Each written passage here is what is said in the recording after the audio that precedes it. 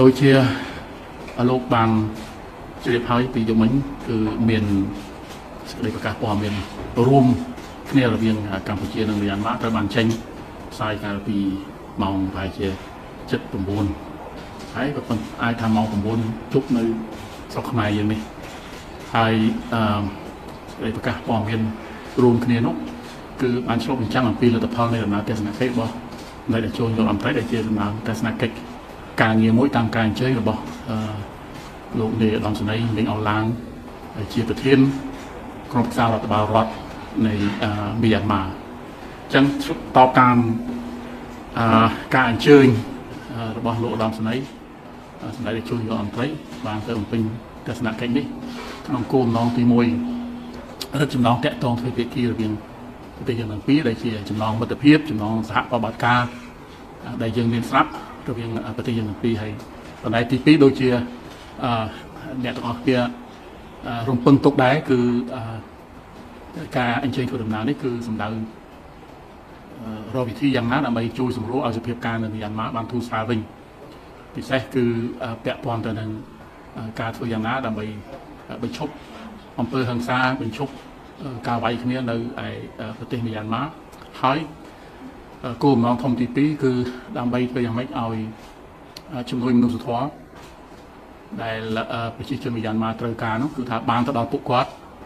ដោយមិនមានការរើសអើងហើយបានទៅដល់ដៃរបស់អ្នកដែលត្រូវការបំផុតពីព្រោះបញ្ហានេះវាមានការកកស្ទះបន្តិចដែរដោយសារតែមានបញ្ហាមិនមិនឯកភាពគ្នាចំពោះគោលដៅនៃការចែកចំនួនមនុស្សធម៌នោះ ហើយក៏ដូចជាវិធីនៅក្នុងការចែកចំនួនមនុស្សធម៌នោះអញ្ចឹងនៅក្នុងសេចក្តីប្រកាសព័ត៌មានបានឆ្លុះបញ្ចាំងឃើញច្បាស់ថាក្នុងបញ្ហាទី1នៃគោលដៅសំខាន់ធំទី1ក្នុងការបញ្ចប់នៅអំពើហិង្សានេះឬក៏យើងអាចនិយាយបានថាការឈានទៅបញ្ចប់នៅអំពើហិង្សានេះពីព្រោះការបញ្ចប់នៅការបន្ទុះសារាយមួយរវាងក្រមជាច្រើនទាំងក្រមមានក្រមស៊ីវិលមានក្រមប្រដាប់អាវុធអឺវាមិនអាចធ្វើទៅបាននៅក្នុងរយៈពេល ខ្លីមួយនោះទេវាទាមទារពេលវេលាយូរការចរចាគ្នាការត្រូវរើគ្នា ការកសាងជំនឿទុកចិត្តរវាងក្រុមដែលពាក់ព័ន្ធហើយវាមានការចាំបាច់នៅក្នុងការដែលមានតួអង្គដើរតួជាអ្នកសម្របសម្រួលជាអ្នកនៅកណ្ដាលអញ្ចឹងនៅពេលដែលពិភាក្សាគ្នាអស់រយៈពេលជាង2ម៉ោងហើយដោយមានការផ្លាស់ប្ដូរមតិនិងលើកជាយោបល់ជាច្រើន ពីសម្ដេចតេជោយុរដ្ឋមន្ត្រីដោយឆ្លុះបញ្ចាំងនៅបទពិសោធន៍ដែលកម្ពុជាយើងធ្លាប់មាននៅក្នុងការដំណើរការស្វែងរកសន្តិភាពនិងការផ្សះផ្សាជាតិរបស់យើងនោះគឺលោកឧត្តមសេនីយ៍មានអាឡាំងបានឯកភាពហើយនឹងសម្រេចពជានៅបទឈប់បាញ់ដែលត្រូវចប់នៅចុងខែ2ឆ្នាំនេះរហូតទៅដល់ដំណាច់ឆ្នាំតែម្ដងគឺពជាពេលនោះគឺថាពេញមួយឆ្នាំតែម្ដងគឺប្រកាសជាឯកតោភាគីថាកងកម្លាំងប្រដាប់អាវុធរបស់រដ្ឋាភិបាលមីយ៉ាន់ម៉ានឹងមិននឹងនឹងនឹងរក្សាភាពអត់ធ្មត់ហើយនឹងអនុវត្តនៅបទឈប់បាញ់នេះទន្ទឹមនេះដែរដូចយើងដឹងហើយថាបទឈប់បាញ់តលតែភាគីទាំងអស់នៅក្នុងចំនួនហ្នឹងគាត់គោរពចឹងហើយលោកឧត្តមសេនីយ៍មីងអងឡានក៏គាត់បានធ្វើការអំពាវនាវទៅថាអំពាវនាវដល់គ្រប់ភាគីទាំងអស់ទាំង ភាគីដែលជាស៊ីវិលប្រដាប់អាវុធភាគីដែលជាយើងគេហៅថាក្រមជនជាតិប្រដាប់អាវុធទាំងប្រមាណដែលនៅបន្តមានចំនួនជាមួយនឹងរដ្ឋាភិបាលមីយ៉ាន់ម៉ានោះគឺថាធ្វើយ៉ាងម៉េចឈប់រើឈប់ប្រើអំពើហិង្សាអឺគោរពនៅបទឈប់បាញ់និងរក្សាភាពអត់ធ្មត់ជាអតិបរមាដើម្បីធ្វើយ៉ាងណាឲ្យបទឈប់បាញ់នេះវាមានសុពលភាព ហើយវាមានប្រសិទ្ធភាពសម្រាប់ប្រទេសមីយ៉ាន់ម៉ាក្នុងនោះដែរជាការជាការបើកផ្លូវសម្រាប់ប្រិស័ទពិសេសរបស់កម្ពុជាយើងប្រិស័ទពិសេសដែលជាប្រិស័ទរបស់ប្រធានអាស៊ានស្ដីអំពីមីយ៉ាន់ម៉ាហ្នឹងគឺលោកឧត្តមសេនីយ៍មេងអងឡាំងគាត់បានបើកផ្លូវ ស្វាគមន៍និងបើកផ្លូវឲ្យប្រិស័ទពិសេសហ្នឹងគឺថាបានចូលរួមនៅក្នុងដំណើរការតាក់ទងទៅនឹងបទឈប់បាញ់តាក់ទងទៅនឹងការពិភាក្សាជជែកពិភាក្សានិងការចរចាសន្តិភាពជាមួយនឹងក្រមប្រដាប់អាវុធដែលជាក្រុមប្រដាប់អាវុធជនជាតិរបស់មីយ៉ាន់ម៉ាផ្សេងៗនេះគឺនេះគឺជាការបើកផ្លូវមួយដ៏សំខាន់ដែរពីព្រោះអឺម្យ៉ាងគឺប្រេសិតពិសេសរបស់ប្រធានអាស៊ាននឹងអាចដើរតួនាទីជាអ្នកសម្របសម្រួល នៅក្នុងការស្វែងរកសន្តិភាពដល់ជាទូទៅដល់ប្រទេសមីយ៉ាន់ម៉ាផងហើយក៏នឹងជួយសម្របសម្រួលក្រុមនានាដែលចរចាជាមួយគ្នាហ្នឹងគឺថាបានរុញដំណើរការចរចានេះទៅមុខផងនេះគឺពាក់ព័ន្ធនឹងបញ្ហាទី1នេះវាបញ្ហាធំសំខាន់ហើយជាចំណុចទី1នៃអឺយើងហៅថាកិច្ចព្រមព្រៀងជាឯកច្ឆន្ទ5ចំណុចដែលអឺមានរងំរបស់អាស៊ានទាំង10ប្រទេសបានឯកភាពព្រមព្រៀងគ្នា កាលពីថ្ងៃទី24ខែមេសាឆ្នាំកន្លងទៅនៅឯទីក្រុងយ៉ាកាតានៅពេលដែលមានដឹកនាំអាស៊ានទាំងអស់យើងថាបានត្រូវបានអញ្ជើញមកពិភាក្សាគ្នាដើម្បីជួយប្រទេសមីយ៉ាន់ម៉ាចាក់ផុតពីវិបត្តិសពថ្ងៃនេះដែលខ្ញុំសូមលើកដែរថាវិបត្តិនេះកើតចេញពីការបដូររបបនៅថ្ងៃទី1ខែកុម្ភៈឆ្នាំទៅមិញឆ្នាំ2021ហើយដែលវាកើតចេញបាត់នយោបាយផងសន្តិសុខផង ហើយក៏បានរីករាលដាលទៅជាផ្នែកសេដ្ឋកិច្ចផងសង្គមផងមនុស្សធម៌ហើយនិងសុខាភិបាលហើយដែលនេះជាស្ថានភាពមួយដែលអាចបង្កគ្រោះថ្នាក់ទៅដល់ប្រទេសមីយ៉ាន់ម៉ាខ្លួនឯងអាចធ្លាក់នៅក្នុងភ្លុកភ្លើងនៃសង្គ្រាមហើយម្យ៉ាងទៀតក៏អាចបង្កនៅផលប៉ះពាល់អាក្រក់ខ្លាំងមកដល់តំបន់ជាពិសេសមកដល់ដល់អាស៊ានរបស់យើងនេះនេះជាចំណុចទី1 ហើយចំណុចទី2គឺពាក់ព័ន្ធទៅនឹងការបើកផ្លូវធ្វើយ៉ាងណាឲ្យចំនួនមនុស្សធម៌បានទៅដល់ដៃអ្នកដែលត្រូវការបំផុតដូចខ្ញុំបានជម្រាបជូនមុននេះបន្តិចគឺអឺចំនួនយើងមាន អង្គការនានារបស់អង្គការសហជីវជាតិអង្គការអន្តរជាតិមួយចំនួនកាកបាទក្រហមហើយសប្បុរសជននានាហ្នឹងគឺថាបានស្ម័គ្រចិត្តដល់ជំនួយមនុស្សធម៌ទៅដល់ប្រជាជនមីយ៉ាន់ម៉ាដែលកំពុងត្រូវការពីព្រោះ បន្ថែមពីលើការលំបាកដែលមានសពថ្ងៃហើយគឺមានបញ្ហាជនភៀសសឹកដែលរត់គេចពីការវាយប្រហារគ្នាទៅដល់តំបន់ព្រំដែនក៏មានឬក៏ខ្លះពីតំបន់មួយទៅតំបន់មួយក៏មានហើយដែលត្រូវការចំនួនមនុស្សធម៌ខ្លាំងអញ្ចឹងវាមានការលំបាកនៅក្នុងការសម្របសម្រួលឲ្យចំនួនមនុស្សធម៌បានទៅដល់ដៃអ្នកដែលត្រូវការទាំងនោះអឺឡោះហើយយើងបានព្រួយផ្ដើមនៅកំណត់មួយនៅពេលដែលលោករដ្ឋមន្ត្រីការបរទេសវូណា គាត់មកបំពេញទស្សនកិច្ចនៅកម្ពុជាកាលពីខែមុនអឺមួយខែហើយយើងបានព្រួយផ្ដើមកំណត់ថាកោះប្រជុំអ្នកដែលពាក់ព័ន្ធទាំងអស់ទាំងខាងអង្គការសហជាតិទាំងខាងអាស៊ាន ទាំងខាងរដ្ឋាភិបាលមីយ៉ាន់ម៉ាទាំងប្រេសិតពិសេសទាំងអគ្គលេខាធិការអាស៊ាន និងតួអង្គផ្សេងៗទៀតដែលពាក់ព័ន្ធកោះប្រជុំដើម្បីពិភាក្សាគ្នាហើយត្រូវរើគ្នាថាតើជំនួយនឹងត្រូវផ្ដល់ទៅយ៉ាងម៉េចទៅដល់កន្លែងណាខ្លះគោលដៅណាខ្លះដែលត្រូវការបំផុត ហើយត្រូវធានាសន្តិភាពសន្តិសុខយ៉ាងណាសម្រាប់អ្នកដែលយកជំនួយនឹងទៅចែកចឹងហើយកណិតដូចដើមនេះត្រូវបានលោកនាយឧត្តមសេនីយ៍មីអងឡាងគាត់ក៏ទទួលស្វាគមន៍ហើយក៏គ្រប់គ្រងចឹងហើយក៏មាននៅក្នុងចែងនៅក្នុងសេចក្តីប្រកាសរួមរបស់យើងនេះសេចក្តីប្រកាសព័ត៌មានរួមរបស់យើងនេះគឺចែងអំពីថាមេដឹកនាំទាំងពីរបានគ្រប់គ្រងទៅដល់ការរៀបចំឲ្យមានកិច្ចប្រជុំនេះហើយវា កិច្ចប្រជុំនោះវាអាចនឹងមានបញ្ហាពិភាក្សាគ្នាច្រើនពាក់ព័ន្ធទៅនឹងនីតិវិធីបែបបត់និងបញ្ហា logistic បញ្ហាសន្តិសុខដូចខ្ញុំបានលើកឡើងមុននេះតិចក៏ច្រើនប៉ុន្តែយើងនឹងខិតខំធ្វើយ៉ាងម៉េចសម្របសម្រួលឲ្យកិច្ចប្រជុំនេះកើតឡើងដើម្បីធ្វើយ៉ាងណាឲ្យចំនួនមនុស្សធម៌នោះបានទៅដល់ដៃអ្នកដែលត្រូវការត្រូវការបំផុតនៅក្នុងប្រទេសមីយ៉ាន់ម៉ានេះអញ្ចឹងរឿងនេះគឺបានទៅដល់អឺ ដំណាក់កាលមួយដែលយើងអាចរុញគូផ្សំរវាងអឺការប្រកាសបទឈប់បាញ់ការពជាពជាពេលបទឈប់បាញ់ការអំពាវនាវឲ្យគ្រប់ភាគីទាំងអស់គោរពបទឈប់បាញ់ការអំពាវនាវឲ្យអឺគ្រប់ភាគីទាំងអស់ដែលពាក់ព័ន្ធគឺថាប្រកាន់នៅភាពអត់ធ្មត់ខ្លាំងបំផុតដែលអាចធ្វើទៅបាន ហើយមានការពាក់ព័ន្ធចូលរួមរបស់ប្រិស័ទពិសេសនៅក្នុងការ ចរចានានាហ្នឹងគឺអាចបង្កើតទៅជាបរិយាកាសមួយមានការទុកចិត្តគ្នាទៅវិញទៅមកហើយនឹងធ្វើឲ្យភាគីដែលពាក់ព័ន្ធនានាហ្នឹងអាចអាចឈានទៅរកការសន្ទនាជាមួយគ្នាការចរចាជាមួយគ្នានឹងឈានទៅដល់ការផ្សះផ្សានិងកសាងនូវសន្តិភាពមួយដែលថិតថេរដោយដែលកម្ពុជាយើងធ្លាប់ឆ្លងកាត់យ៉ាងដូច្នោះ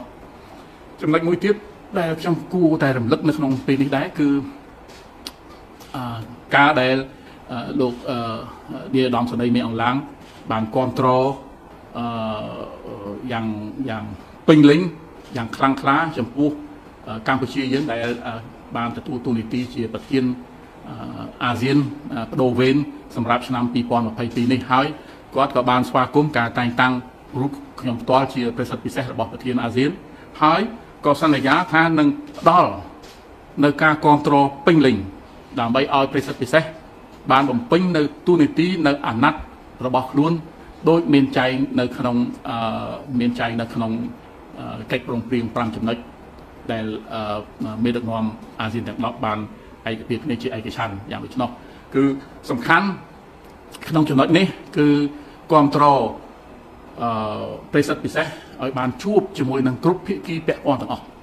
ដែលខ្ញុំសូមគូបញ្ជាក់ក្នុងចំណុចនេះដែលយើងអាចមើលទៅឃើញឆ្លុះបញ្ចាំងនៅក្នុងចំណុចទី5នៃ 5 point consensus ហ្នឹងគឺចំណុចទី5ចំណុចចុងក្រោយគេនៃ5ចំណុចដែលបានឯកភាពជាឯកច្ឆន្ទនេះគឺគ្រប់គ្រងឲ្យប្រិស័ទពិសេសបានទៅទស្សនកិច្ចនៅមីយ៉ាន់ម៉ានិងបានជួបជាមួយនឹងគ្រប់ភាគីដែលពាក់ព័ន្ធទាំងអស់ហើយយើងជួបភាគីណាមុនជួបភាគីណាក្រោយជួបបុគ្គលណាមុនជួបបុគ្គលណាក្រោយអាហ្នឹងវាអាស្រ័យទៅតាមកលៈទេសៈដែលវានឹងហុចឲ្យនៅពេលនោះហើយសូមរំលឹកផងដែរគឺសម្ដេចតេជោនាយករដ្ឋមន្ត្រី ពេលលោកអញ្ជើញទៅបំពេញទស្សនកិច្ចនេះលោកអត់មានដាក់លក្ខខណ្ឌនេះទេលោកអត់មានដាក់លក្ខខណ្ឌនេះទេប៉ុន្តែយើងបានជជែកគ្នាដែរយើងបានជជែកគ្នាដែររវាងរដ្ឋមន្ត្រីការបរទេសដូចគ្នាថាมันមានលក្ខខណ្ឌនេះទេប៉ុន្តែយើងគួរប្រឹងប្រែងរួមគ្នាធ្វើយ៉ាងណាដើម្បីឲ្យដំណើរទស្សនកិច្ចនេះមានផលប្រយោជន៍មានផលប្រយោជន៍នេះគឺមិនមែនថាផលប្រយោជន៍សម្រាប់តែកម្ពុជាសម្រាប់សម្ដេចតេជោទេប៉ុន្តែមានផលប្រយោជន៍ចំពោះប្រជាជនមីយ៉ាន់ម៉ានឹងតែម្ដងហើយកន្លងទៅវាជាការគួរឲ្យសោកស្ដាយដែរប៉ុន្តែយើងក៏មិន ទៅហាមឃាត់អីគេទេព្រោះនេះជាមតិយោបល់របស់គេគឺគេមើលមកថាការដែលសម្ដេចតេជោនាយករដ្ឋមន្ត្រីលោកទៅបំពេញទស្សនកិច្ចនៅប្រទេសមីយ៉ាន់ម៉ាហ្នឹងគឺថាជួយទទួលស្គាល់របបនៅទីក្រុងម៉ៃពីដោប៉ុន្តែតាមការពិតដូចខ្ញុំបានបកស្រាយកន្លងទៅហើយគឺថាបើយើងនិយាយពីរឿងការទទួលស្គាល់ហ្នឹងគឺអឺវាវាជាពាក្យមួយដែលអឺมันมันมันចាំបាច់នៅក្នុងការលើកនៅទីនេះទេពីព្រោះ ប្រទេសនានាបានរក្សានៅតំណែងការទូតរបស់ខ្លួនជាមួយនឹងរបបក្រុងណៃពីដោរហូតមកដល់សប្តាហ៍ថ្ងៃនេះនៅក្នុងចំណោមស្ថានទូតស្ថានបេសកកម្មរបស់មីយ៉ាន់ម៉ាជាង40ស្ថានទូតនៅជុំវិញពិភពលោកនោះគឺគ្រប់ស្ថានទូតទាំងអស់ត្រូវបានរក្សាតំណែងតំណងការទូតទាំងអស់ត្រូវបានរក្សាសំបីតែប្រទេសនានាដែលបន្តតំណែងតំណងក៏មានស្ថានទូតរបស់ខ្លួននៅឯទីក្រុងយ៉ាំងូនហើយបន្តតំណែងតំណងការទូតធម្មតាធ្វើការធម្មតាជាមួយនឹង ទីក្រុងណៃពីដោ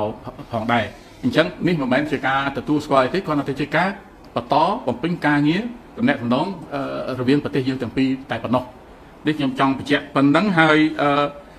ក្រៅពីនេះទៀតពាក់ព័ន្ធនឹងខ្ញុំសូមត្រឡប់មកវិញបន្តិចពាក់ព័ន្ធនឹងការបើកផ្លូវទៅយ៉ាងម៉េចឲ្យចំនួនមនុស្សធម៌នោះបានទៅដល់ដៃអ្នកដែលត្រូវការបំផុតនោះគឺព្រមជាមួយនឹងកម្មវិធីចែកចំនួនមនុស្សធម៌នោះគឺថាយើងបានស្នើហើយនឹង បានទទួលការឯកភាពឲ្យផ្សារភ្ជាប់កម្មវិធីចាក់វ៉ាក់សាំងទៅដល់តំបន់ណាដែល យើងបានបើកផ្លូវសុវត្ថិភាពជូនអ្នកដែលផ្ដល់ដឹកជំនួយមនុស្សធម៌ទៅដល់ទៅដល់អ្នកដែលត្រូវការនោះហើយអញ្ចឹងកម្មវិធីវ៉ាក់សាំងហ្នឹងក៏វាមានសារៈសំខាន់ដែរដើម្បីធ្វើយ៉ាងម៉េចឲ្យមីយ៉ាន់ម៉ាហ្នឹងបន្តយកជ័យជំនះយកជោគជ័យនៅក្នុងការប្រយុទ្ធប្រឆាំងនឹងបញ្ហា COVID-19 នេះអញ្ចឹងយើងក៏បានទទួលការគ្រប់គ្រងពី លោកឧត្តមសេនីយ៍មីអងឡាងផងដែរហើយដែលគាត់មានប្រសាសន៍មួយឃ្លាមកថាជំនួយមនុស្សធម៌ហ្នឹងត្រូវតែចែកដោយមិនរើសអើងដោយមិនរើសអើងអញ្ចឹងអ្នកណាក៏ដោយគាត់ត្រូវតែចែកទៅទៅជូនដែរហើយគាត់មានប្រសាសន៍មួយទៀតថាយ៉ាងណាក៏ដោយក៏អ្នកទាំងនោះគឺជាជនជាតិមីយ៉ាន់ម៉ាហើយគ្មានអ្វីសំខាន់ជាងការសង្គ្រោះជីវិតមនុស្សនោះទេនេះគឺជាសម្ដីជាប្រសាសន៍ផ្ទាល់របស់លោកឧត្តមសេនីយ៍មីងអងឡាងនេះផងដែរអញ្ចឹង ពាក់ព័ន្ធនឹងរឿងវ៉ាក់សាំងនេះទៀតគឺនៅក្នុងការដែលការប្រឹងប្រែងរបស់កម្ពុជាយើងក្នុងការជួយប្រទេសមីយ៉ាន់ម៉ាអំពីការប្រយុទ្ធប្រឆាំងនឹង COVID-19 ហ្នឹងកន្លងទៅគឺថា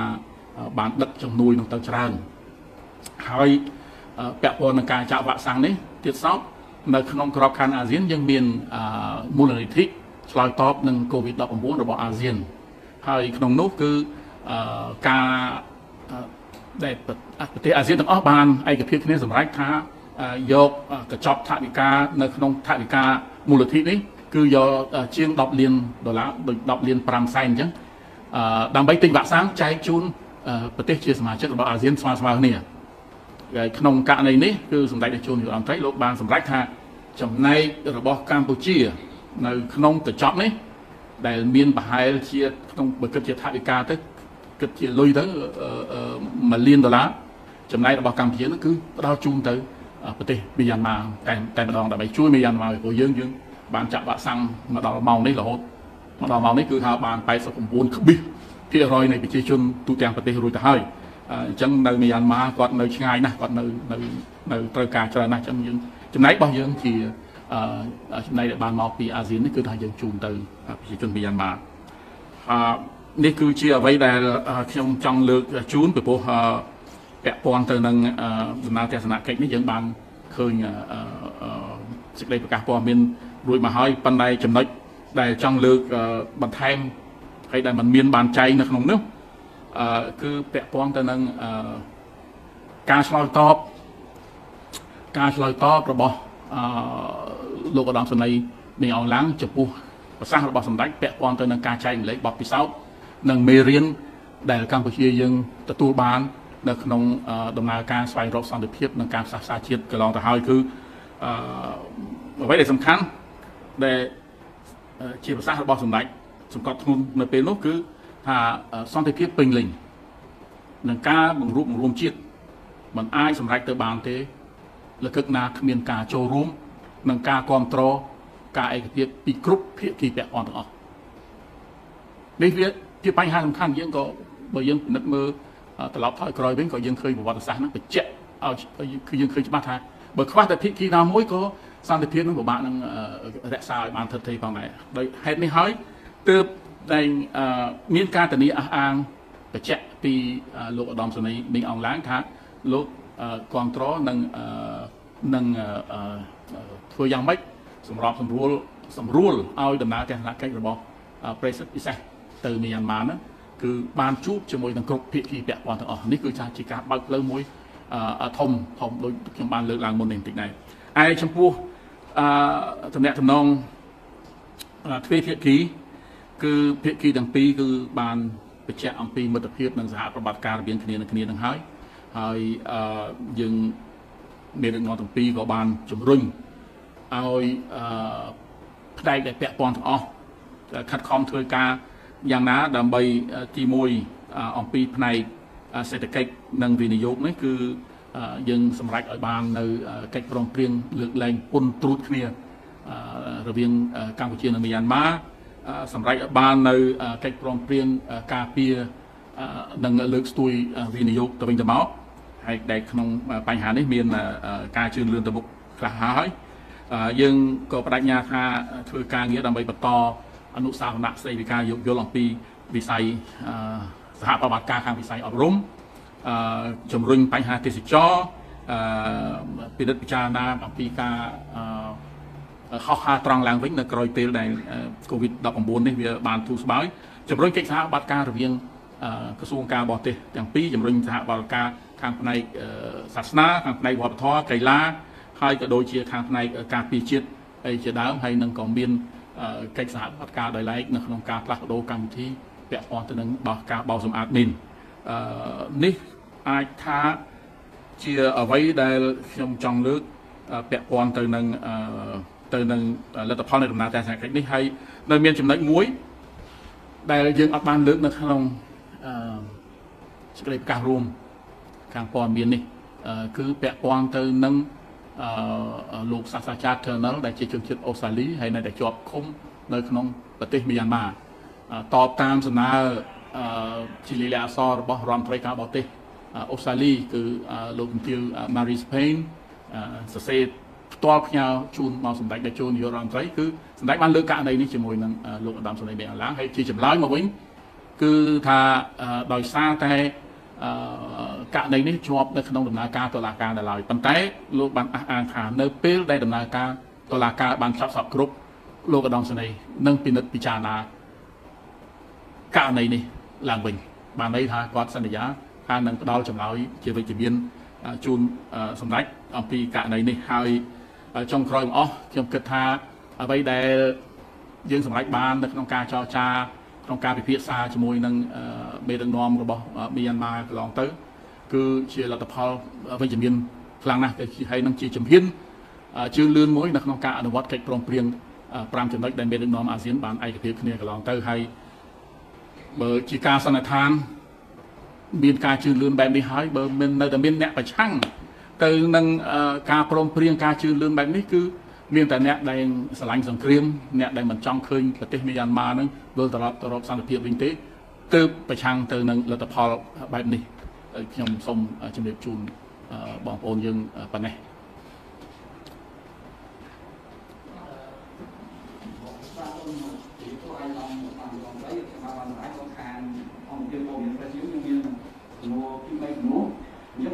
បានដល់ជំនួយទី1ថារហូតដល់ពេលនេះនៅពេលដែលមានផលិតផលនៃរូបឬសម្រាប់ទីចូលហ្នឹង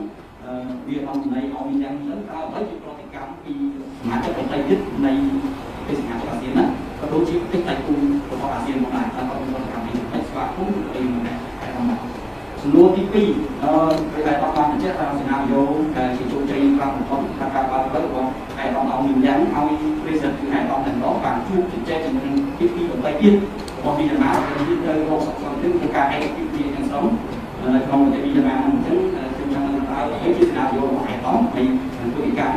ចចាប់តាមពេលណាតែក្នុងទី2ដែលជួបចរចាតើនឹងអាចជួបជាមួយនឹងទី2របស់លោកនាយកអង្គការទីអាទី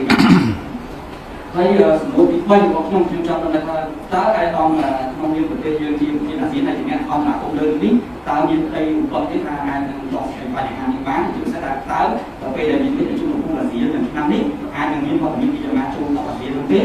ហើយអ្វីដែលជាក្តីបារម្ភដែលមិនអាចសម្រេចទៅបានរបស់ឯកឧត្តមហើយមួយជំហា នទៀតដើម្បីឈានទៅដល់ការដោះស្រាយវិបត្តិរបស់វិមានថាតើអារម្មណ៍អាចគិតទៅដល់យន្តការរបស់អង្គការសហប្រជាជាតិដូចជារឿងប្រជុំជំនួយប្រជុំអីផ្សេងផ្សេងថាអាចនឹងក្រុមស្នើសុំកម្លាំងរបស់ UN ដែលសារសន្តិភាពនឹងចូលជួយអន្តរាគមន៍លើរឿងនៅក្នុងទីមានយ៉ាងណាដែរទេតាមណាចំនួនទី4ខ្ញុំចង់ដឹងដែរថាកម្ពុជាយើងនៅក្នុងប្រទេសអាស៊ានយ៉ាងណាក៏ដោយក៏យើងឃើញប្រទេសដទៃគេជាប្រទេសអាស៊ានហើយគេការខិតខំរបស់គេនឹងដូចជាមិនខ្លាំងអីប្រមាណទេវាពេលកន្លងទៅតែឡែកសម្ដេចទៅចូលហេតុអីព្រោះ ទី1ពេលដែលយើងចូលទៅនេះអ្នកដែលប្រឆាំងរបស់លោកធារបស់មីចំណាជាជនមីចំណាផ្ទាល់ហ្នឹងពួកគេប្រតិកម្មគេរិះគន់គេទីទានគេប្រមាថអីខ្លាំងណាស់ដែរហើយបណ្ដាប្រទេសជាលាហ្នឹងពួកគេលើកឡើងរិះគន់ទីទានអីខ្លាំងណាស់ដែរហើយក្នុងកម្ពុជានេះគេគន់អីខ្លាំងណាស់ដែរសម្រាប់សម្ដេចបញ្ចូលនឹងថ្ងៃមុនទៅមានការបង្កាយទូអស់បែកនៃការបំផិតបំភ័យអីច្រើនទៀតតែវាមានតម្លៃប៉ុណ្ណាសម្រាប់កម្ពុជាណាតែធ្វើឲ្យយើងនឹងប្រឹងប្រែងខ្លាំងណាស់ក្នុងការកសាងវិបត្តិនៅក្នុងប្រទេសមីយ៉ាន់ម៉ាឯកឧត្តមសូមអរគុណ សួរនេះសួរមិនឲ្យអ្នកផ្សេងសួរហ្មង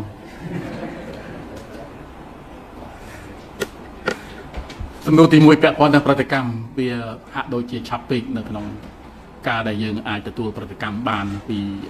ប្រទេសផ្សេងផ្សេងប៉ុន្តែខ្ញុំបានទទួលចម្លើយសារមួយពីរដ្ឋមន្ត្រីការបរទេសថៃលោកដនប្រមុខវិន័យដែលតាមដានព័ត៌មានខ្ញុំបានព្យាយាមដែរផ្ញើដែងសេចក្តីប្រកាសព័ត៌មានរួមនេះជូនទៅសហការី សហសេវករដ្ឋមន្ត្រីការបរទេសប្រទេសអាស៊ានទាំង9ផ្សេងទៀតទាំង8ចោះមីយ៉ាន់ម៉ានៅជាមួយគ្នាហើយប៉ុន្តែនៅទីនោះគឺ WhatsApp វាអត់ដើរវាអត់ដើរអញ្ចឹងគាត់ទទួលព័ត៌មានហ្នឹងបានតាមបណ្ដាញព័ត៌មានតែម្ដងហើយគាត់បានគ្រប់គ្រងចំពោះលទ្ធផលនេះយ៉ាងខ្លាំងគ្រប់គ្រងចំពោះកិច្ចប្រឹងប្រែងរបស់កម្ពុជាតទៅមុខទៀតហើយក៏គាត់បានមានប្រសាសន៍ថាបទពិសោធន៍ដ៏សម្បូរបែប របស់សម្ដេចតេជោនាយករដ្ឋមន្ត្រីមានសម្រាប់សំខាន់មានសារៈសំខាន់ខ្លាំងណាស់ចំពោះការជួយដោះស្រាយបញ្ហាមីយ៉ាន់ម៉ានេះគឺជាភាសាផ្ទាល់របស់គាត់តែម្ដងអញ្ចឹងយើងនៅបន្តរងចាំមើលអឺប្រតិកម្មនានាហើយសង្ឃឹមថាអឺអ្នកផងទាំងពួងនឹងទទួលអឺយកលទ្ធផលនៃដំណើរទស្សនៈទស្សនកិច្ចនេះដោយសច្ចានុមត្ត មិនយកគំនិតនយោបាយអវិជ្ជមានផ្ទាល់ខ្លួននឹងយកមកដើម្បីក្របដណ្ដប់លើការវិនិច្ឆ័យឬក៏ធ្វើឲ្យខុសពីការវិនិច្ឆ័យជាសក្តិអនុម័តចំពោះលទ្ធផលនេះទេដូចខ្ញុំបានលើកឡើងថាការយាងបោះជំហានបានប៉ុណ្ណេះគឺវាជាការបើកផ្លូវដ៏សំខាន់មួយ សម្រាប់ឲ្យប្រទេសមីយ៉ាន់ម៉ាស្វែងរកសន្តិភាពស្វែងរកការស្ងប់ស្ងៀម នៅផ្ទៃក្នុងរបស់ខ្លួនព្រោះទាំងប្រធានអាស៊ានទាំងប្រេសិតពិសេសនឹងបណ្ដាតួជំនួសអឺមីយ៉ាន់ម៉ាប្រជាជនមីយ៉ាន់ម៉ាខ្លួនឯងនៅក្នុងដំណើរការស្វែងរកសន្តិភាពនិងការសាសនាជាតិទេយើងមានទូនាទីត្រឹមតែជួយសម្របសម្រួលជួយបញ្ចុះបញ្ចូលជួយផ្ដល់យោបល់មតិយោបល់អីផ្សេងផ្សេងដែលជាបទពិសោធន៍របស់កម្ពុជាអឺតកតងនឹងសំណួរទី2ថាតើពិសេសពិសេសនឹងជួបជាមួយនឹងភាគីដទៃទៀត យ៉ាងណាហើយតើសេណារីយ៉ូយ៉ាងម៉េចគឺថាយើងមានការគិតគូរផងដែរប៉ុន្តែដើម្បីឲ្យប្រេសិតពិសេសចាប់ផ្ដើមធ្វើការងាររបស់ខ្លួនអឺបើតាមតែឯកសារទស្សនៈទានពាក់ព័ន្ធទៅនឹងអាណត្តិរបស់ប្រេសិតពិសេសដែលរដ្ឋមន្ត្រីការបរទេសអាស៊ានបានឯកភាពគ្នាហើយនោះគឺអឺវាមានការយើងមានតម្រូវការទៅចោះមានតម្រូវការនៅក្នុងការឲ្យរដ្ឋមន្ត្រីការបរទេសអាស៊ានទាំងអស់ធ្វើការទទួលស្គាល់ជាផ្លូវការ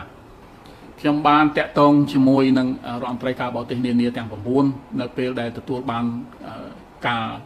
សម្រេចចិត្តដ៏ពងពោះរបស់សម្ដេចក្នុងការតែងតាំងរូបខ្ញុំឲ្យធ្វើជាប្រេសិតពិសេសប៉ុន្តែខ្ញុំបានតាក់ទងតាម WhatsApp គេឆ្លើយវិញតាម WhatsApp ទាំង9បានឯកភាពបានគ្រប់គ្រងខ្ញុំរួចទៅហើយប៉ុន្តែនោះវាជាផ្លូវមិនផ្លូវការអញ្ចឹងហើយបានតែយើងរងចាំកិច្ចប្រជុំអាស៊ានចង្អៀតដែលនឹងត្រូវធ្វើឡើងនៅថ្ងៃទី18 19 ខាងមុខនេះនៅទីក្រុងសៀមរាបហើយដោយផ្ទាល់តែម្ដងអឺយើងនឹងធ្វើឲ្យការតែងតាំងនេះវាคล้ายទៅជាការទទួលស្គាល់នេះคล้ายទៅជាការទទួលស្គាល់ជាផ្លូវការដោយយើងមិនដាក់ឃ្លានៅក្នុងសេចក្តីប្រកាសរបស់ប្រធានប្រធានកិច្ចប្រជុំនៅពេលយើងប្រជុំចប់អញ្ចឹងពេលនោះវាមានជាលេខអក្សរហើយវាคล้ายទៅជាផ្លូវការអញ្ចឹងបានផ្លូវការហើយយើងនឹងត្រូវរៀបចំផងដែរនៅ ក្រមជំនួយការហើយនឹងការិយាល័យរបស់ប្រេសិតពិសេសនោះទៀតដើម្បីជាការជាជាក្រមមួយដែលគ្រប់គ្រងកិច្ចការងាររបស់ប្រេសិតពិសេសប្រពំធ្វើប្រេសិតពិសេសនោះវាការងារទៅជួយមីយ៉ាន់ម៉ាទៅវាច្រើនមុខអញ្ចឹងมันអាចធ្វើតែម្នាក់ឯងបានទេវាមានការសម្របសម្រួលវាមានការមានតំណែងតំណងជាមួយនឹងភាគីពាក់ព័ន្ធទាំងអស់ហើយយើងត្រូវការរៀបចំកម្មវិធីពិគ្រោះយោបល់ជាមួយនឹង រដ្ឋមន្ត្រីការបរទេសជាមួយនឹងអិសរាជជនផ្សេងផ្សេងជាមួយនឹងអ្នកពាក់ព័ន្ធហើយនឹងរៀបចំកម្មវិធីនានាដើម្បីធ្វើយ៉ាងណាបំពេញឲ្យបាននៅអាណត្តិដែលមានរងមរបស់អាស៊ានបានបានប្រគល់ឲ្យតាមរយៈ5 point consensus នេះឯអាស៊ាន chair តើប្រធានយើងកាន់កាប់កៅអីជាប្រធានអាស៊ានឆ្នាំនេះ យើងសង្ឃឹមថានឹងដោះស្រាយបញ្ហាមីយ៉ាន់ម៉ាបានដែរឬយ៉ាងម៉េចនោះទេអឺខ្ញុំសូមជម្រាបថាបញ្ហាមីយ៉ាន់ម៉ានេះជាបញ្ហាស្មុគស្មាញមិនមែនកើតឡើងទើបតែកើតឡើងដោយសារតែការបដូររបបឆ្នាំតែមិញនោះទេវាមានលំនាំរបស់វាយូរហើយអឺវាជាប្រវត្តិនយោបាយផងវាជាវប្បធម៌នយោបាយផង ហើយមានខាងយោធានឹងមានទូនាទីនាំមុខក្របដណ្ដប់លើសង្គមមីយ៉ាន់ម៉ាណា70ឆ្នាំជាងរួចមកហើយអញ្ចឹងនៅមីយ៉ាន់ម៉ាហ្នឹងមានក្រុមដែលជនជាតិភាគតិចហ្នឹងរហូតដល់120ក្រុមនោះក្នុងនោះមានជិត20ក្រុមប្រដាប់ដោយអាវុធហើយក្នុង20ក្រុមជិត20ក្រុមហ្នឹងទើបមាន11ក្រុមទេបានឯកភាព ចុះកិច្ចព្រមព្រៀងសន្តិភាពជាមួយនឹងរដ្ឋាភិបាលអញ្ចឹងដោយសារក្រុមផ្សេងទៀតដែលជាក្រុមធំធំគួរសមដែរនៅបន្តមានចំនួនជាមួយនឹងរដ្ឋាភិបាលនៅឡើយទោះរដ្ឋាភិបាលណាក៏ដោយមុនក៏ដោយក៏នៅតែវាយគ្នាមកដល់ក្រោយនេះក៏នៅតែវាយគ្នាអញ្ចឹងមិនមែនជាការងាយស្រួលទេដូចខ្ញុំបានលើកឡើងកន្លងហើយដែរថាបញ្ហាមីយ៉ាន់ម៉ាមិនមែនដោះស្រាយតាមរយៈដំណើរទស្សនកិច្ចម្ដងពីរដងឬក៏បីដងឬក៏រហូតទៅដល់ថាមកមកអាណត្តិនោះក៏ទេដែរ มันมันมันมันมันអាចដោះស្រាយដោយឆាប់ឆាប់បែបនេះបានទេអញ្ចឹងយើងត្រូវការពេលវេលាត្រូវការភាពអត់ធ្មត់ហើយនឹងត្រូវការភាពជាក់ស្ដែងយើងដោះស្រាយបញ្ហាតាមជាក់ស្ដែងហើយកម្ពុជាបានប្រកាន់យកនៅអភិក្រមផ្លែកបន្តិចពីប្រិសិទ្ធមុនយើងមិនមែនជាការបន្ទោសប្រិសិទ្ធមុននេះទេប្រិសិទ្ធមុនគាត់ខំប្រឹងធ្វើការងារខ្លាំងណាស់ប៉ុន្តែវាត្រូវស្ទះអញ្ចឹងដើម្បី បញ្ជាអាការស្ទះនេះយើងប្រកាន់អភិក្រមផ្សេងបន្តិចហើយធ្វើការយកជំហានមកជំហានម្ដងមកជំហានម្ដង មិនមែនថាទៅតែម្ដងសម្រាប់គ្រប់គ្រប់អំណងរបស់យើងទាំងអស់ទេมันมันអាចទេអញ្ចឹងយើងទៅម្ដងបានស្អីយើងយកហ្នឹងដែលពាក្យអង់គ្លេសហៅថាយើងបេះអាផ្លែឈើណាដែលវានៅទៀបទៀបជាងគេមុនកុំឲ្យកំអាលឈួងទៅអាផ្លែឈើណាវានៅចុងដើមមកអាហ្នឹងវាខ្ពស់អឺមិនងាយទៅបេះបានទេអញ្ចឹងយើង យើងបេះអាផ្លែឈើណាដែលវានៅទៀបទៀបមុនអញ្ចឹងទៅអញ្ចឹងនេះគឺជាអភិក្រមរបស់យើងហើយអឺចំពោះជំនួយចំពោះអីអឺគឺពាក់ព័ន្ធទៅនឹងបងអូនលើកឡើងថាតើត្រូវការបញ្ជូនកងកម្លាំងរក្សាសន្តិភាពរបស់អង្គការជាតិដែរទេគឺថាมันអានេះមិនមែនកម្ពុជាជាអ្នកដេញសម្រេចទេអានោះគឺជាអង្គការជាតិជាអ្នកសម្រេចបើស្ថានភាពរបស់មីយ៉ាន់ម៉ាវាធ្លាក់ដុនដាបខ្លាំងរហូតដល់ផ្ទុះសង្គ្រាមស៊ីវិល អីយ៉ាងចឹងវាអាចមានការសម្រេចចិត្តរបស់ក្រុមរក្សាសន្តិសុខរបស់អង្គការជាតិថាហោះទៅបញ្ជូនក្រមរក្សាសន្តិភាពរបស់អង្គការជាតិដើម្បីមកជួយខាត់ភាគីទាំងអស់កុំឲ្យច្បាំងគ្នាកុំឲ្យឆ្លោះគ្នាកុំឲ្យសម្លាប់គ្នាអាហ្នឹងអាហ្នឹងជាការសម្រេចរបស់របស់អង្គការជាតិប៉ុន្តែបើតាមខ្ញុំមើលទៅសភាពការវាមិនទាន់ដល់ថ្នាក់នោះទេអ្វីត្បិតតែខ្ញុំលើកឡើងកន្លងមកហើយថាអឺគ្រប់គ្រឿងទាំងអស់ដែលអាច ផ្សំឲ្យខ្លាយទៅជាសង្គ្រាមស៊ីវិលវាមាននៅលើតុហើយប៉ុន្តែពាក្យថាមាននៅលើតុបានន័យថាវានៅមិនទាន់ស្លដល់ឡើយទេវានៅលើតុទេវាគ្រាន់តែជាគ្រឿងទេវាមិនទាន់ទៅដល់ដំណាក់កាលដែលគ្រឿងទាំងអស់នោះវាខ្លាយទៅជាម្ហូបបានន័យថាធាតុផ្សំទាំងអស់នោះវាមិនទាន់ខ្លាយទៅជាឈ្នួលផ្ទុះសម្រាប់ឲ្យកើតសង្គ្រាមស៊ីវិលពេញទាំងហឹងនៅក្នុងប្រទេសមីយ៉ាន់ម៉ាទេប៉ុន្តែវាមានហានិភ័យឆ្ពោះទៅគោលដៅហ្នឹងអញ្ចឹងហើយបានយើង កម្ពុជាខំប្រឹងថាធ្វើយ៉ាងម៉េចខាត់កុំឲ្យដំណើរការនេះវាទៅដល់ដល់ដំណាក់កាលនោះហើយអញ្ចឹងវាដូចជាឆ្លើយឆ្លើយទៅនឹងសំណួរទី4របស់អូនដែរថាគេមុនមុនហ្នឹងមិនក៏គេមិនសូវជាខ្លាំងហើយហើយសម្ដេចតេជោនាយរដ្ឋមន្ត្រីហ្នឹងមិនបានលោករុញខ្លាំងនេះគឺជាគឺជាទី1ទី1ការផ្លាស់ប្ដូរអភិក្រមនេះហើយការផ្លាស់ប្ដូររបៀបធ្វើការ របៀបដែលរបៀបដែលយើងហក់ទៅជួយប្រទេសមីយ៉ាន់ម៉ាហើយតើយើងបានចំណេញស្អីខ្ញុំខ្ញុំខ្ញុំគិតថាយើងអត់មានផលប្រយោជន៍នយោបាយផលប្រយោជន៍សេដ្ឋកិច្ចផលប្រយោជន៍ភូមិសាស្ត្រនយោបាយអីគ្មានទេវាអត់មានប៉ុន្តែហេតុអ្វីបានយើងបានយើងជួយកុំភ្លេចថាប្រទេសកម្ពុជាធ្លាប់រងគ្រោះដោយសារសង្គ្រាមស៊ីវិលហើយនឹងស្គាល់នៅសោកនាដកម្មជូរចត់នៃសង្គ្រាមស៊ីវិលនិងលទ្ធផលនៃសង្គ្រាមស៊ីវិលហ្នឹងអឺ ដែលអូបឡាយពេលអស់ជិត3ទសវត្សរ៍ឯណោះហើយធ្វើឲ្យយើងទងន់តែយើងងើបបានមកដោយសារថ្ងៃហ្នឹងគឺយូរដំណើរការយូរផ្លូវដើរនេះយូរណាស់អញ្ចឹងយើងចង់ឲ្យមីយ៉ាន់ម៉ាប្រជាជនមីយ៉ាន់ម៉ាជិះផុតជិះផុតពីពីសោកនាដកម្មដែលយើងធ្លាប់ស្គាល់នេះនឹងទី1ទី2ក្នុងនាមជាប្រធានអាស៊ានយើងមានកាតព្វកិច្ចយើងមានការទទួលខុសត្រូវពួកសេចក្តីសម្រេចមានហើយ five point consensus របស់មេដឹកនាំអាស៊ានទាំង10 តែការទទួលខុសត្រូវក្នុងឋានៈជា ជាប្រធានក្នុងឋានៈផងដែរជាសមាជិកមួយនៃគ្រួសារអាស៊ានយើងចង់ជួយគ្រួសារអាស៊ានជាមួយគ្នាហើយបើសិនជាប្រទេសមីយ៉ាន់ម៉ាធ្លាក់នៅក្នុងវិបត្តិសង្គ្រាមស៊ីវិលដូចយើងកំពុងតែបារម្ភនេះមែនពិតវាមានអតិពលអាក្រក់រហូតទៅដល់តំបន់យើងអាក្រក់ដល់តំបន់អាក្រក់ដល់កេរ្តិ៍ឈ្មោះរបស់អាស៊ានអាក្រក់រហូតដល់ឯកភាពអាស៊ាន អញ្ចឹងយើងជួយមីយ៉ាន់ម៉ាដូចជួយអាស៊ានហ្នឹងក្នុងឋានៈជាប្រធានត្រូវតែមានការទទួលខុសត្រូវខ្ពស់ចំពោះកាតព្វកិច្ចរបស់ខ្លួនយើងជាប្រធានអាស៊ាននេះ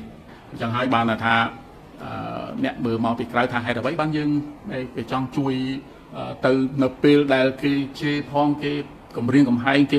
ដាក់បកាយក្របបែកគេបំផ្ទុះក្របបែកនៅក្បែរបើយើងមើលសារព័ត៌មាន ពាក់ព័ន្ធទៅនឹងការធ្វើបាតកម្មអីហ្នឹងគឺអឺនិយាយដោយសាមញ្ញទៅចង់ចត់បាយហ៎ចង់បាយចត់ហ៎ប៉ុន្តែនេះគឺជាកតាបកិច្ចដែលយើងត្រូវធ្វើហើយយើងបានទទួលជោគជ័យប៉ុណ្ណេះប៉ុណ្ណេះវាមិនទាន់ជោគជ័យពេញលេញទេវាត្រូវនៅជំហានតទៀតប៉ុន្តែនេះជាជាការបើកផ្លូវមួយដ៏សំខាន់សម្រាប់យើងបោះជំហានទៅមុខទៀតប៉ុន្តែប៉ុណ្ណេះយើងអឺយើងសប្បាយក្នុងចិត្តថាយើងបានបំពេញកាតព្វកិច្ចរបស់យើងជារដ្ឋដែលទទួលខុសត្រូវខ្ពស់ ចំពោះអាស៊ានហើយដែលជាសមាជិកមួយ ដែលយើងតែងតែតាំងខ្លួនថាជាសមាជិកសកម្មរបស់អាស៊ាន គឺពេលនេះគឺវាបានសឲ្យឃើញយ៉ាងដូចនេះឯង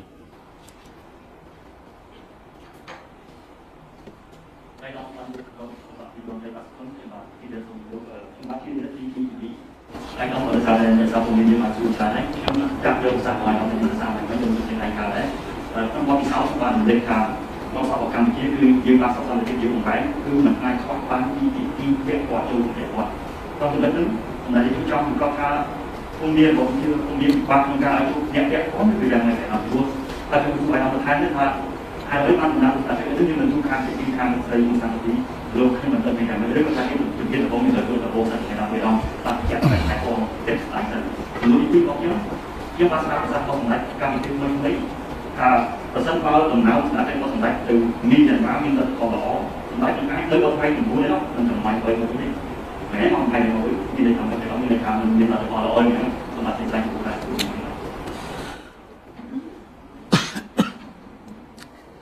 យើងចំពោះសំណួរទី1យើងនៅចាំច្បាស់ថាបញ្ហាសំណើសុំជួបលោកជំទាវអោនសានសុជីអឺបញ្ហានេះហើយដែលធ្វើឲ្យរាំងស្ទះដល់ដំណើរការទស្សនកិច្ចរបស់ ប្រិសិទ្ធពិសេសអឺគឺប្រិសិទ្ធពិសេសមុនគឺលោករដ្ឋមន្ត្រីការបរទេសប៊្រូណេលោកអេរីវ៉ាន់យូសុហ្វអឺតើយើងបើយើងឃើញថាបញ្ហានេះវាជាបញ្ហាដែលខ្ទាស់នៅដំណើរការទៅមុខនៃការងាររបស់ប្រសិទ្ធពិសេសហើយយើងទៅយើងទៅរកអាកន្លែងហ្នឹងដដែលវិញទៀតឬក៏យ៉ាងម៉េចអឺ បើតនឹងវាមានគេសង់អញ្ចឹងក្រាស់ហើយយើងយកក្បាលយើងទៅជុលតនឹងទៀតក៏វាដូចជាវាអត់បានប្រយោជន៍អីទេអញ្ចឹងហើយបាទខ្ញុំជម្រាបជូនថាកម្ពុជាគិតប្រកាន់អភិក្រមផ្សេង នៅក្នុងការអឺឈានឆ្ពោះទៅសម្រេចនៅកិច្ចព្រមព្រៀង5ចំណុចនេះហើយសម្ដេចតេជោនាយករដ្ឋមន្ត្រីលោកមិនដែលបានដាក់ទេ តាំងពីដំបូងទីមកនៅលក្ខខណ្ឌទុកជាមុនលោកបានមានប្រសាសន៍ហើយលោកក៏ជម្រាបជូនទៅភាគី មីយ៉ាន់ម៉ាហើយភាគីមីយ៉ាន់ម៉ាគាត់ដឹងច្បាស់ហើយថាសម្រាប់ជួនយកអមត្រីទៅពង្រឹងពង្រីកតំណែងធ្វើភាគីផងហើយនឹងស្វាស្វែងជួយប្រទេសមីយ៉ាន់ម៉ា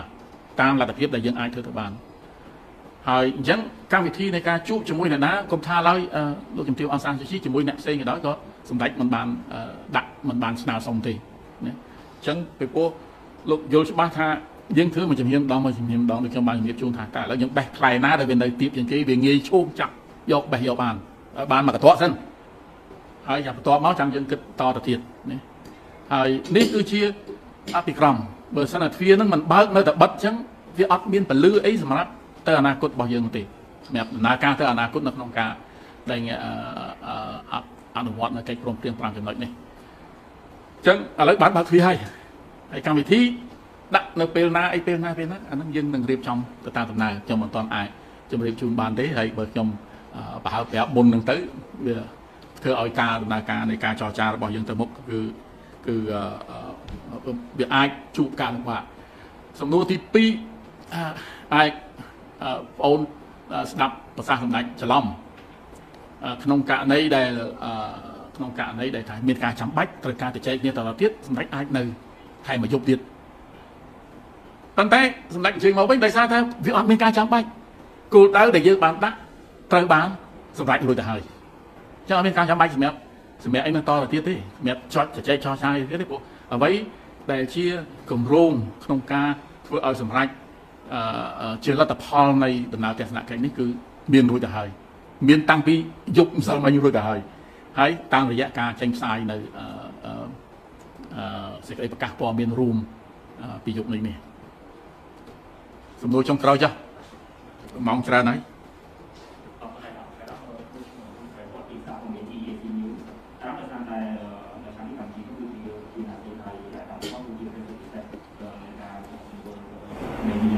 កម្មថា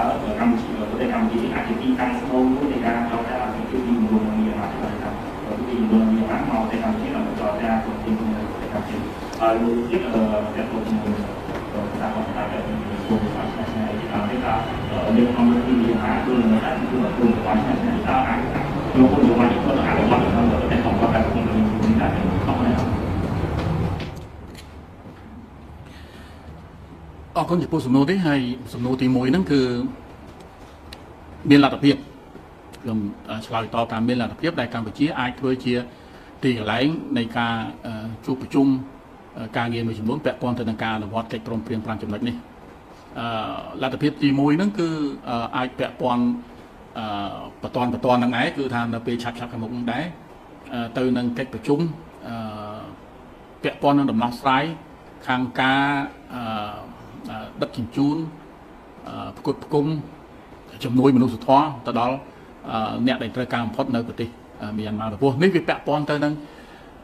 អង្គការអង្គការហើយនឹងស្ថាប័នច្រើនហើយអាចថាប្រជុំមួយលើកក៏មិនទាន់សម្រេចប្រជុំពីរលើកឬក៏3លើកអានឹងយើងអត់ទាន់ដឹងថាវាយ៉ាងម៉េចហ្នឹងទេដោយសារតែកន្លងទៅវាមានការលំបាករួចទៅហើយនៅក្នុងការត្រូវរើគ្នារវាងអ្នកដែលយកជំនួយ នោះសតផ្គត់ផ្គង់ជាមួយនឹងរដ្ឋអំណាចនៅឯមូលដ្ឋានព្រោះរដ្ឋអំណាចនៅឯមូលដ្ឋានគាត់ថាទីកន្លែងដែលអ្នកដែលចង់យកជំនួយទៅផ្គត់ផ្គង់ហ្នឹងវាអត់សមត្ថភាពវាអត់សមត្ថភាពអញ្ចឹងគាត់មិនអាចយកមិនអាចអនុញ្ញាតឲ្យយកទៅទេព្រោះគាត់មិនអាចទទួលខុសត្រូវចំពោះសន្តិសុខសមត្ថភាពរបស់អ្នកដែលនេះហ្នឹងទេអ្នកដែលយកជំនួយហ្នឹងទៅទេអញ្ចឹងកិច្ចប្រជុំរបស់យើងគឺថាហៅគ្នាមកទាំងអស់ទាំងរដ្ឋអំណាចខាងមីយ៉ាន់ម៉ាទាំងអ្នកផ្ដល់ជំនួយទាំងប្រេសិតពិសេសទាំងអេដាមអគ្គលេខាធិការអាស៊ាន អាហារ center អីហ្នឹងគឺថាមកជុំគ្នាអញ្ចឹងទៅហើយលើកដាក់លើតុមកយើងទៅចែកគ្នាតែឥឡូវសុំទៅទៅនេះសុំទៅទៅនេះហើយខ្ញុំមានព័ត៌មានថាទៅនេះត្រូវការខ្លាំងប៉ុន្តែទៅទៅនឹងវាមានបញ្ហាគ្រោះថ្នាក់តើយើងរៀបចំឲ្យមានបត់ឈប់បាញ់នៅគ្នានៅម្ដុំហ្នឹងបានទេហើយធានាថាផ្លូវធ្វើដំណើរពេលហ្នឹងទៅដល់កន្លែងដែលថាយើងផ្ដល់ជំនួយមនុស្សធម៌ហ្នឹងតើវាមានសុវត្ថិភាពដែរឬអត់ហើយបើវាអត់មានសុវត្ថិភាពទៅទៅវាមានគ្រោះថ្នាក់ទៅវា អាជំនួយវាក៏មិនទៅដល់ហើយមនុស្សក៏មានគ្រោះថ្នាក់អញ្ចឹងជាបញ្ហាដែលយើងត្រូវគិតជាមួយគ្នាហើយត្រូវដោះស្រាយជាមួយគ្នាហើយនឹងត្រូវរកចំណុចដែលជាចំណុចរួមជាមួយគ្នាដើម្បីឲ្យត្រូវរើគ្នាហើយអឺកិច្ចប្រជុំផ្សេងផ្សេងទៀតក៏អាចយើងអាចគិតថាកម្ពុជាអាចរៀបចំនៅកិច្ចប្រជុំណាដែលថាពិបាកនឹងធ្វើនៅមីយ៉ាន់ម៉ាឬក៏ពិបាកធ្វើនៅប្រទេសផ្សេងក៏ដោយសារតែយើងជាប្រធានស្រាប់ហ្មងយើងអាច កោះអញ្ជើញធ្វើដោយផ្ទាល់ក៏បានធ្វើតាមរយៈ video conference ក៏បានព្រោះឥឡូវសម័យនេះយើងមិនបាច់ធ្វើដំណើរមកទេហើយអាចដោះស្រាយជាមួយគ្នាបានអាហ្នឹងយើងអាចចំណេញពេលចំណេញថវិកាហើយអាចដោះស្រាយជាមួយគ្នានៅការងារមួយចំនួនបើសិននៅក្នុងករណីចាំបាច់ថាត្រូវតែប្រជុំដោយផ្ទាល់អាហ្នឹងចាំយើងគិតទៀតហ្នឹងទី1អឺទី2ពាក់ព័ន្ធនឹងនយោបាយឈ្នះឈ្នះខ្ញុំសូមជម្រាបថាអ្វីដែល កម្ពុជាចង់ជូនទៅភាគីមីយ៉ាន់ម៉ាគឺជូនជាបទពិសោធន៍ជាមេរៀនដែលយើងធ្លាប់ទទួលបានយើងមិនទី1ទី1មិនដាក់ជា model អីទេមិនមែនថាហោកម្ពុជាខ្ញុំធ្វើអញ្ចឹងអ្នកឯងទៅធ្វើអញ្ចឹងអត់ទេអ្នកកម្ពុជាខ្ញុំធ្លាប់ធ្វើអញ្ចេះតើអ្នកឯងគិតមើលមើលទៅថានៅប្រទេសរបស់អ្នកឯងអាចយកបទពិសោធន៍ហ្នឹងយកទៅប្រើប្រាស់របៀបម៉េចនឹងទី1ទី2ដូចខ្ញុំបានជម្រាបជូនមុននេះ គឺអឺទូនីតិរបស់យើងជាអ្នកសម្របសម្រួលជាអ្នកចុះបញ្ចូលជាអ្នកផ្ដល់យោបល់ជាអ្នកដែលជួយសម្រួលតំណែងតំណងរវាងភាគីដែលដែលដែលកំពុងតែតោះតែងគ្នាតែយើងមិនដើរតួនាទីជាអ្នកដោះស្រាយជំនួសពួកគាត់ទេដំណើរការសន្តិភាពជារួមត្រូវតែដឹកនាំដោយប្រជាជនមីយ៉ាន់ម៉ាដោយខ្លួនឯងជាកម្មសិទ្ធិរបស់ប្រជាជនមីយ៉ាន់ម៉ាដោយខ្លួនឯងហើយកម្ពុជា មិនលូកដៃនិងមិនទៅធ្វើជំនួសឬក៏ចាប់បង្ខំឲ្យភាគីមីយ៉ាន់ម៉ាធ្វើតាមនេះឬធ្វើតាមនោះទេនេះគឺជាគោលបំណងរបស់កម្ពុជាយើងហើយអ្វីៗដែលយើងធ្វើនេះគឺស្របទៅតាមចំណុចទាំង5នៃការឯកភាពគ្នាផងហើយដោយយកធម្មនុញ្ញរបស់អាស៊ានយកមកធ្វើជាមូលដ្ឋាននៅក្នុងការអនុវត្តនៅកិច្ចព្រមព្រៀង5ចំណុចនេះផងដែរហើយក្នុងធម្មនុញ្ញ របស់អាស៊ានហ្នឹងគឺមានគោលការណ៍ធំ2ដែលសំខាន់ហើយដែលមានផលប្រយោជន៍ខ្លាំងនៅក្នុងការអនុវត្តនេះគឺការគោលការណ៍ទី1គឺការមិនជ្រៀតជ្រែកចូលកិច្ចការផ្ទៃក្នុងរបស់អ្នកដទៃនិងទី2គឺថាសម្រេចអ្វីអ្វីតាមរយៈកុងសំស៊ុសឲ្យតលតែប្រទេសទាំង10ឯកភាពគ្នាទើបយើងអាចចាត់ទុកថាជាការសម្រេចរបស់អាស៊ានដើម្បីផលប្រយោជន៍របស់អាស៊ានសូមអរគុណ